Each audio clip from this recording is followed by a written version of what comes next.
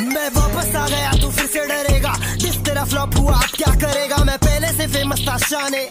तू क्या मेरा छोटे सीन चेंज करेगा? तू बस बड़ा दिखाना चाहता है। हम जैसे को तू दबाना चाहता है। लेकिन मेरे पास तेरे लिए बहुत